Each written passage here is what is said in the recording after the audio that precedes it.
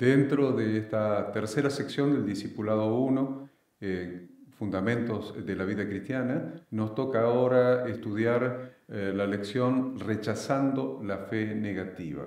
Eh, vamos a partir de una lectura en Jeremías 29, del 11 al 13. Dice, porque yo sé los pensamientos que tengo acerca de vosotros, dice Jehová, pensamientos de paz y no de mal, para daros el fin que esperáis entonces me invocaréis y vendréis y oraréis a mí, y yo os oiré. Y me buscaréis y me hallaréis, porque me buscaréis de todo vuestro corazón. Es interesante esta lectura y hemos tomado esta lectura para iniciar el estudio de, esta lección, porque acá hay una verdad revelada muy importante. La verdad revelada es que Dios tiene pensamientos acerca de nosotros todos pensamientos de paz y no tiene ni un solo pensamiento de mal. A ver, los pensamientos de Dios acerca de nosotros son pensamientos de paz. Y no hay un solo pensamiento de Dios que sea de mal para nosotros, todos son de bien. Ahora, ¿por qué a veces no recibimos ese bien que Dios tiene en sus pensamientos para nosotros o esa paz que Él tiene eh, eh, para nosotros? Eh, y la respuesta clarita está eh, en que Dios dice, yo tengo pensamientos de paz y no de mal para daros el fin que esperáis. El problema no está en Él, el problema está en mí. ¿Cuál es el fin que yo estoy esperando? Esa es, la clave de esta lección. No es Dios quien eh, retasea, ¿eh? quien mezquina su bendición. Él tiene bendición sobreabundante para derramar sobre nuestra vida. la pregunta es, eh, cuál es el fin que tú estás esperando eh, de parte de Dios. Entonces, eh, el fin que esperás es el fin que yo estoy esperando y eso es importante que lo tengamos definido porque debemos considerar que hay tres niveles de la creencia, tres niveles básicos de la creencia en todo ser humano. Al primer nivel de la creencia le vamos a llamar fe positiva, al segundo le vamos a llamar duda, pero también hay un tercer nivel que se llama fe negativa. Entonces vamos a empezar a, dar un texto de cada uno de ellos y a explicarlos. En primer lugar, fe positiva. ¿Qué es fe positiva? Fe positiva es creer conforme a la palabra de Dios. Es una fe positiva. Yo creo que las promesas de Dios son para mí y se cumplirán en mi vida. ¿eh? Y tengo una, una fe positiva. Creo en las promesas de Dios sobre mi vida. Quiero que esas promesas se van a cumplir y se van a, realizar en mi vida. Ver, em, eh, hay un, ejemplo en la Biblia, eh, en Marcos 9:23, donde Jesús le dice a una persona, si puedes creer, ven un sí condicional, si tú puedes creer, si tú puedes creer, si tú puedes tener fe positiva, al que cree, todo le es posible. Eh, miren qué interesante este, este, texto. Si tú puedes creer eh, lo que estás pidiendo, se te va a conceder, porque al que cree, todo le es posible. Ahí tienen un ejemplo, un texto perfectamente graficado de lo que significaría la fe positiva. La duda también es simple para, explicar. Dudar es, dudar del cumplimiento efectivo de las promesas de Dios. Así como la fe positiva es creer en el cumplimiento efectivo de las promesas de Dios, la duda es dudar del cumplimiento efectivo de las promesas de Dios. A ver, un, texto, eh, Santiago 1.6. Santiago 1.6 dice, pero pida con fe, no dudando nada, porque el que duda es semejante a la onda del mar, que es arrastrada por el viento y echada de una parte a otra. ¿Ven? La duda. El que duda, el que duda es semejante a la onda del mar Sopla el viento de acá, se va para allá, sopla el viento de allá, viene para acá, sopla mucho viento, hoy está alto, está eh, en su nivel máximo, eh, mañana está en su nivel eh, mínimo, ¿ves? las horas más altas, olas más pequeñas. realmente andar de arriba para abajo y de un lugar para el otro, eso es producto de la duda. Entonces tenemos definido la fe positiva y tenemos definido lo que es la duda.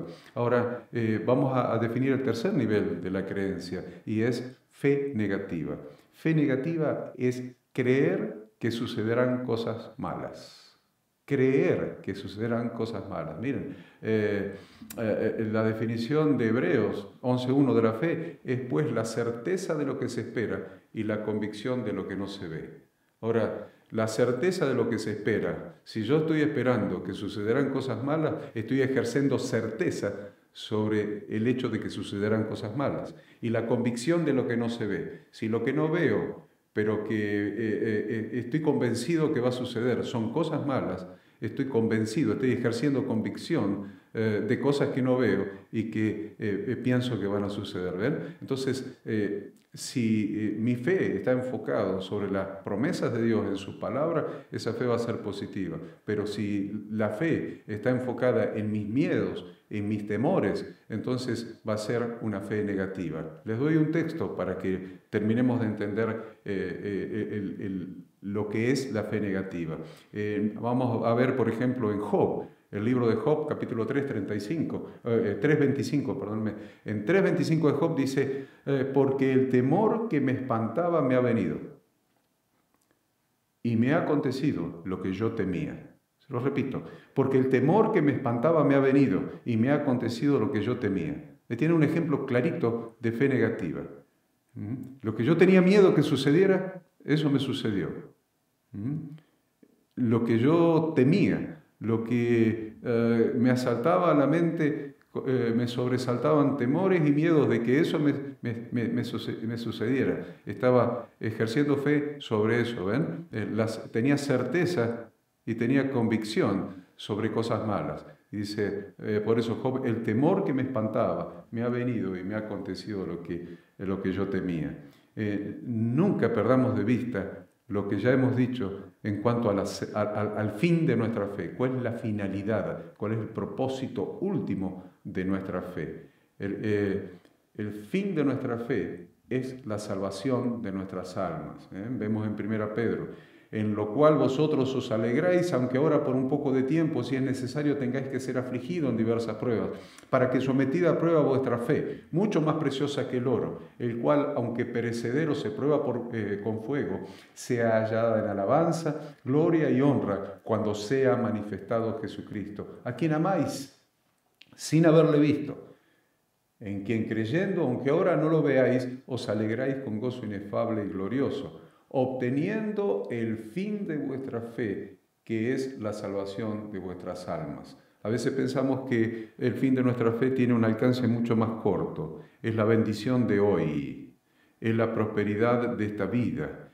es la salud en esta tierra, es eh, obtener las metas que me he propuesto para mi vida, para mi economía, para mi ah, eh, prosperidad, para lo que ustedes quieran, pero en esta tierra. Miren, la fe es algo tan valioso que Dios nos ha dado que tiene una proyección eterna. Eh, la proyección eterna es que el fin de nuestra fe es la salvación eterna de nuestras almas. El ejemplo de Jesús. Vamos a ver el ejemplo de Jesús.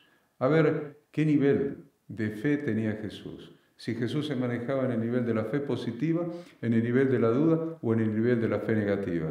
Lo vemos en Juan, eh, en el capítulo 11, donde se relata la, la escena, se describe la escena de Jesús frente a la tumba de Lázaro, con Marta y María, sus hermanas, las hermanas de Lázaro allí acompañándolo, los judíos que se lamentaban, Lázaro metido en la tumba con una piedra eh, eh, tapando la boca del sepulcro y Jesús ah, en la puerta eh, pidiendo que retiren la piedra. Retiren la piedra de la boca del sepulcro. Y las hermanas diciendo, ¿no te das cuenta que hace cuatro días que se murió? Ya da olor, ya hiede, ya el cuerpo se está descomponiendo, da olor. Jesús, no retires la piedra, no hagas retirar la piedra de la boca del sepulcro. Pero Jesús dijo, retiren la piedra. Dice, entonces quitaron la piedra de donde había sido puesto el muerto. Y Jesús, alzando los ojos a lo alto, dijo, Padre, gracias te doy por haberme oído. Interesante la fe de Jesús. Padre, gracias te doy por haberme oído. Yo sabía que siempre me oyes pero lo dije por causa de la multitud que está alrededor, para que crean que tú me has enviado. Miren qué modelo, qué ejemplo de fe positivo, positiva. Empezó a orar diciendo, Padre, gracias te doy por haberme oído. Pero continúa diciendo, yo sabía que siempre, siempre me oyes. Modelo profundo de fe positiva es nuestro Señor Jesucristo, el autor y consumador de la fe. ¿Mm? Eh, ¿Cuándo fue que el Padre había oído a Jesús, por lo cual estaba dando gracias? Fue cuando Jesús hizo la siguiente declaración de fe positiva, un rato antes, unos días antes.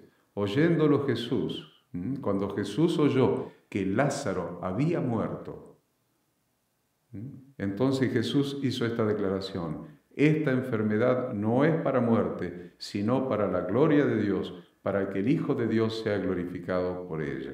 Miren, en ese momento Jesús hizo una declaración de fe positiva que fue escuchada por Dios. Entonces después el mismo Jesús dijo, gracias Padre, eh, porque eh, escuchaste mi oración, escuchaste eh, mi declaración de fe. Eh, gracias, Padre, por haberme oído cuando yo dije, esta enfermedad no es para muerte, sino para la gloria de Dios, para que el Hijo de Dios sea glorificado por ello. Por eso después podía dar gracias. Gracias, Padre, por haberme oído, porque yo sabía que siempre me oyes.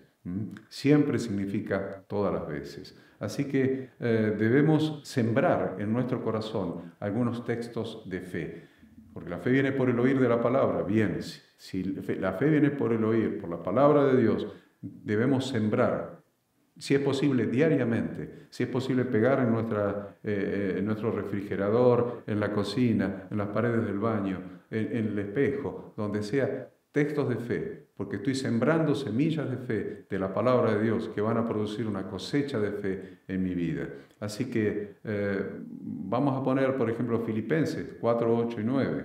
Dice, por lo demás, hermanos, todo lo que es verdadero, todo lo honesto, todo lo justo, todo lo puro, todo lo amable, todo lo que es de buen nombre, si hay virtud alguna, si hay algo digno de alabanza, en esto pensad lo que aprendisteis y recibisteis y oísteis y visteis en mí. Esto haced y el Dios de paz estará con vosotros. Ahí tienen un texto de sembrar fe. ¿Qué es verdadero? Verdadero es que es conforme a la verdad, conforme a la realidad, sincero, veraz, que dice siempre la verdad. En esto pensad. Honesto, decente, honrado, incapaz de robar, incapaz de estafar, incapaz de defraudar. En esto pensad que es justo, que actúa con absoluta imparcialidad, según la moral o la ley. Pensad en esto. Puro. Puro significa sin mezcla, que no contiene ningún elemento extraño, que no está alterado, que no está viciado. Íntegro, persona de recto proceder, difícil, difícil de, de corromper por interés. Puro. En esto pensad. Amable. Amable quiere decir digno de ser amado que se hace amar por las otras personas, que sus actitudes producen amor hacia Él eh, de parte de las otras personas. En esto pensad. Virtud, ¿eh? si hay virtud alguna, en esto pensad. ¿Qué es virtud? Disposición constante a hacer el bien. Disposición constante a hacer el bien. Cualidad permanente del espíritu que inclina a practicar el bien. En esto pensad. Entonces se va a cumplir en nosotros las palabras de Jesús cuando dijo, si permanecéis en mí y mis palabras permanecen en vosotros, pedid todo lo que queréis y os será hecho. Debemos permanecer en la palabra de Dios, en las palabras de Jesús, en toda la, palabra de Dios, porque la palabra de Dios sembrada en nuestros corazones constituye semillas de fe que van a dar como fruto fe. Entonces se va a cumplir esta promesa de Jesús si permanecéis en mí y mis palabras permanecen en vosotros, pedid todo lo que queréis y os será hecho. Espero que esta lección les aclare algunos conceptos en cuanto a nuestra fe. Que Dios los bendiga.